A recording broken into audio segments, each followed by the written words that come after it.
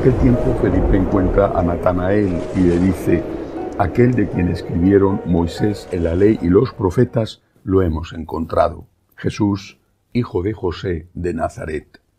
Natanael le replicó, ¿de Nazaret puede salir algo bueno? Felipe le contestó, ven y verás. Vio Jesús que se acercaba a Natanael y dijo de él, Ahí tenéis a un israelita de verdad con quien, en quien no hay engaño. Natanael le contesta, ¿de qué me conoces? Jesús le responde, antes de que Felipe te llamara, cuando estaba debajo de la higuera, te vi. Natanael respondió, Rabí, tú eres el Hijo de Dios, tú eres el Rey de Israel. Jesús le contestó, por haberte dicho que te vi debajo de la higuera, ¿crees? Has de ver cosas mayores. Y le añadió, yo os aseguro, veréis el cielo abierto y a los ángeles de Dios subir y bajar sobre el Hijo del Hombre. Palabra del Señor. Gloria a ti, Señor Jesús. Hoy celebramos la fiesta de San Bartolomé, un apóstol. Eh, quisiera aprovechar para dar una pequeña catequesis sobre lo que significa el concepto de tradición. Porque, empezando ya por usar esa palabra, según la tradición, San Bartolomé fue despellejado vivo. Eh, él partió a evangelizar lo que hoy llamamos Oriente Medio, eh, quizá llegando, según la tradición, hacia la actual Irán, entonces llamada Persia. Allí fue martirizado, eh, era frecuente entre los cruelísimos, eh, terribles torturas que se empleaban, era frecuente en esa zona despellejar vivas a las personas. Era espantoso y lo usaban como el castigo peor que se podía encontrar. Según la tradición, ese fue el destino, esa fue la muerte de San Bartolomé. Empezamos con la palabra tradición. Eh, está muy mal vista está muy mal vista fuera de la iglesia, tradiciones, suena antiguo, y está también muy mal vista en algunos sectores dentro de la iglesia. Sin embargo, la enseñanza de la iglesia recogida por el Concilio de Trento, por el Concilio Vaticano I, recogida en el Concilio Vaticano II y en el Catecismo, enseña, y esto nadie lo puede tocar, enseña que la revelación está contenida en dos fuentes, una es la palabra escrita, las escrituras, Antiguo Testamento y sobre todo Nuevo Testamento. El Nuevo Testamento tiene los cuatro evangelios, Hechos de los Apóstoles, las cartas de distintos autores, entre ellos San Pablo, y el Apocalipsis, las escrituras. Ahí está contenida la revelación, pero también está la revelación contenida en la tradición. ¿Cómo puede despreciarse algo que contiene la, que contiene la palabra de Dios, que contiene el mensaje de Dios. Más aún, eh, muchos, yo no sé dónde han conseguido los títulos para ser ordenados sacerdotes, eh, muchos ignoran que primero fue la tradición. Antes de que se empezara a escribir la primera página del Nuevo Testamento, eh, posiblemente incluso fue una carta de San Pablo o desde luego los primeros esbozos del Evangelio de San Mateo y San Marcos, pues en torno al año 50, 60.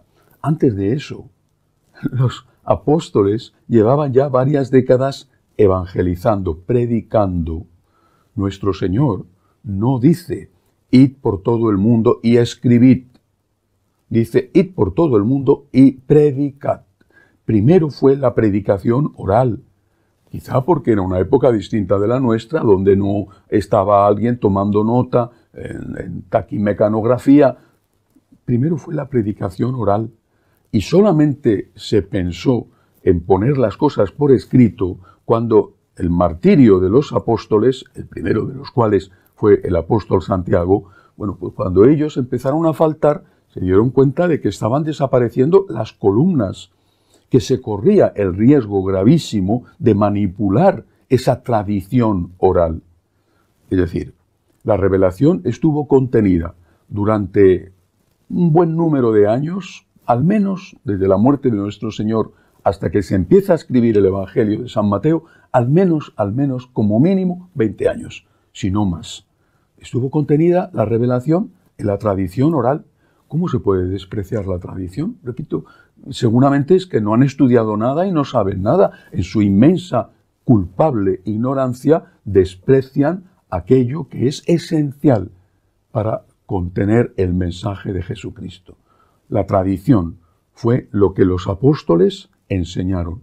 Los apóstoles, naturalmente, también aquellos que eran testigos de la resurrección de Cristo, que habían acompañado a nuestro Señor, que después fueron evangelizadores, aunque no fueron los apóstoles. De hecho, uno de esos testigos, eh, eh, San Matías, fue elegido como sucesor de Judas el traidor. Es decir, no solamente estaban los doce, había un buen grupo más y estaban las mujeres, no solo nuestra Madre Santísima, estaban otras como Santa María Magdalena. También ellas evangelizaron, también ellas hablaron, también ellas predicaron. No lo harían como los hombres, porque en la época no tenían acceso a determinados ambientes, pero lo hacían de mujer a mujer o a sus hijos o a sus familiares. La tradición empieza en el mismo instante en que nuestro Señor es, eh, eh, sube a los cielos en la ascensión. En ese momento empieza la tradición. Contiene la revelación, no puede ser despreciada. Después de esto, acompaña a la palabra escrita, es un referente, San Pablo alude a ella muchas veces, por ejemplo, cuando habla de la Eucaristía. San Pablo dice, escribe, os he transmitido lo que a mi vez recibí, que el Señor, la noche que iba a ser entregado, tomó pan en sus santas y venerables manos, levantó los ojos al cielo y dijo, tomad y comed, esto es mi cuerpo. San Pablo está escribiendo un texto similar al que van a recoger, han recogido los evangelistas, pero lo está escribiendo porque se lo han transmitido. Después de caer del caballo camino de Damasco, es conducido ciego a esa ciudad y allí es evangelizado por un anciano judío, creyente cristiano, que le transmite el mensaje. La tradición es esencial, tan esencial como la palabra escrita. La Iglesia enseña que se complementan mutuamente y que no se puede prescindir ni de la una ni de la otra.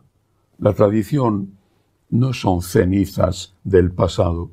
La tradición está viva, pero con la condición, lo decía San Vicente de Lerins, con la condición de que nunca se contradiga. No puede ser que lo que hoy es blanco, mañana sea negro. No puede ser que lo que hoy es pecado, mañana sea una virtud, o que lo que ayer eh, fue eh, una virtud, hoy se considere un pecado. Los apóstoles dieron la vida por defender el mensaje de Jesús. Hoy celebramos a un apóstol. No escribió, o no se ha conservado al menos, ni una sola línea. Evangelizó. Derramó su sangre. Firmó con su sangre en el libro no escrito de la tradición. Firmó con su sangre las enseñanzas que hoy nos permiten decir que la Iglesia es apostólica, basada en esas enseñanzas de los apóstoles. No despreciemos lo que ignoramos, porque al despreciarlo estamos despreciando a Jesucristo. Que así sea.